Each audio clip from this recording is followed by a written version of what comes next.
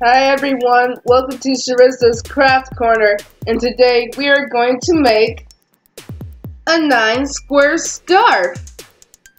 Alright, so I got my 9 square scarf and hat on. You see, it's kind of cute. And to make a hat, you might want to make 5 granny squares and sew them on with the same colored yarn as each border of the granny squares, except for the border of the hat. I'm just wearing this just to demonstrate the project, so let's get started! Okay, so the first thing you're going to need are some Red Heart Super Saver balls of yarn in five colors. Gold, lavender,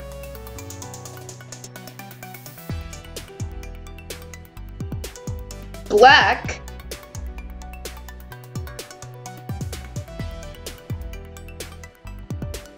burgundy,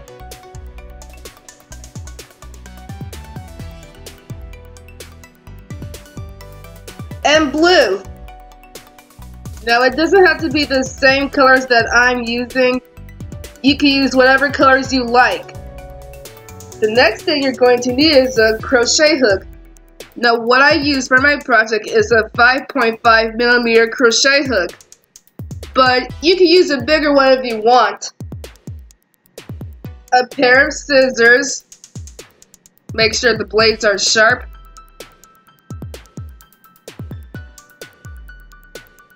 And a yarn needle for later.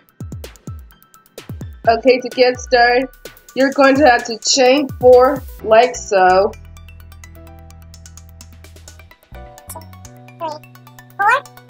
Then join with slip stitch and first chain to form a ring.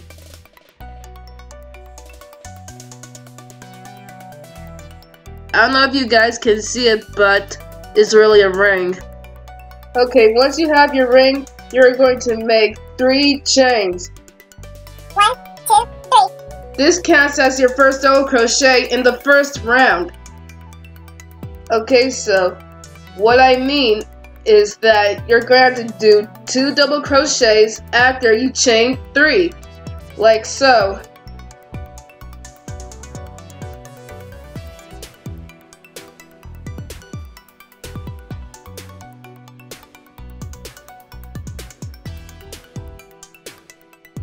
Once you have chained three, you're going to repeat the entire process until you get around the ring.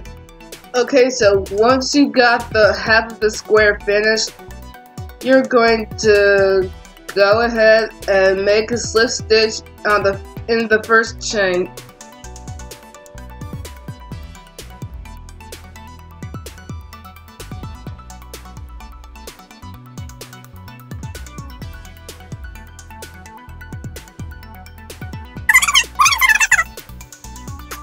Once you have finished this square, you want to take the yarn needle, put the yarn through the needle eye,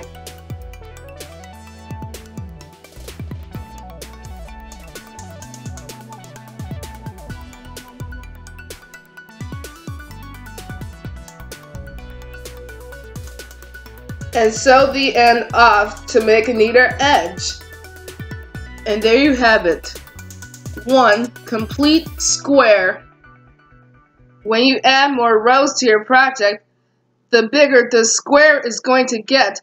So I'm going to tell you what to do when you have different colored yarns. Now here's what I mean when I'm talking about the pattern. If you look carefully that each different colored yarn has a letter, you're going to have to follow the letters by code in order to get the different patterns of square. Like for example, I crochet this square and the first space is burgundy followed by lavender, gold, then lavender, and finally black. And all the squares are going to have a black border at the end, which is the letter E. So what I did for this square, once again, was follow the pattern, and boom, you got yourself different colored squares. Now that I have made all of my squares, what you're going to do is take this yarn needle and use the same colored yarn as the border to sew up the squares in order. So what you're going to do is take a length of yarn like this, grab a pair of scissors,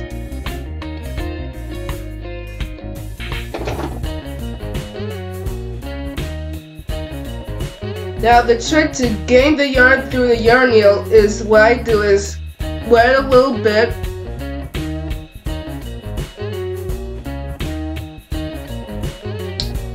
twist it like so and aim for the eye.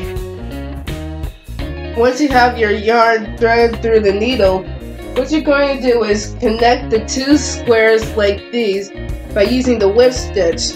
What you're going to do is flip your squares over with the yarn facing up like so. Then you're going to want to take your thread yarn and tighten a knot. Make sure it's really tight. Then you're going to go ahead and get the needle through the chains like so.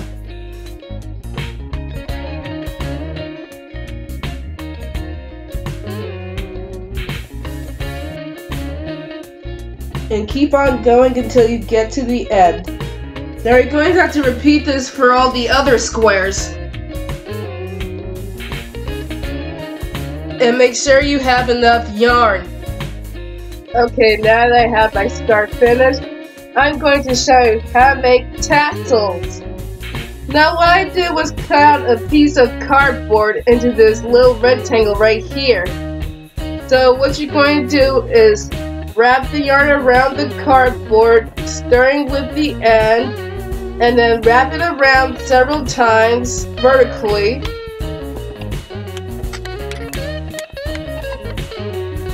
Once you've done that, you're going to take this other end of yarn and get under the bundle of yarn like so.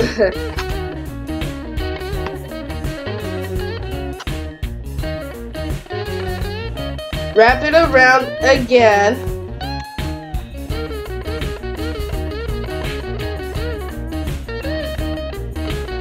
Then thread the end through the loop that you created and pull it tight. And there you have your knot.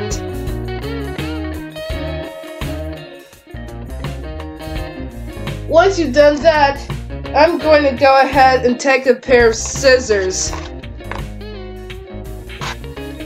Once you have your tassels ready, what you're going to do is line the scissors up with the cardboard and tassel and then make one nice clean cut. Okay, so once your tassel is almost complete, what you're going to do is Thread it through one of the bottom of the scarves like so. Tie it twice. And trim out the excess yarn. Now you can either leave it natural and trim the ends, or give it a more snazzy look like these.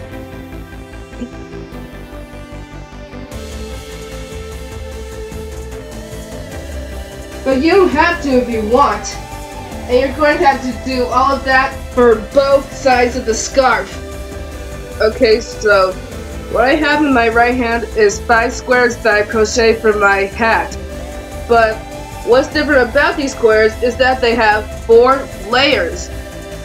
First, second, third, four layers. And just like the same principle of the scarf, the bigger the square, the more layers it has. Okay, so when working with these guys, you're going to have to sew them up using the same colored yarn of the border of the squares until you have a nice little dome like so.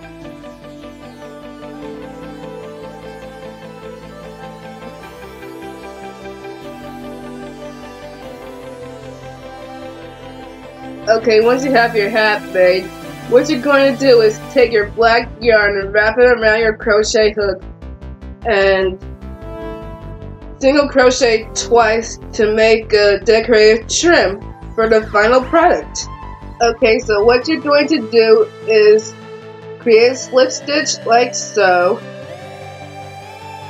then single crochet all the way around. Once you've done that, you're going to have to chain one, then single crochet again, and then tie it off and sew. And there you have it folks, your 9 square scarf set with hat. I hope you liked this video and please type in the comments below for any more crochet videos. Thanks, bye!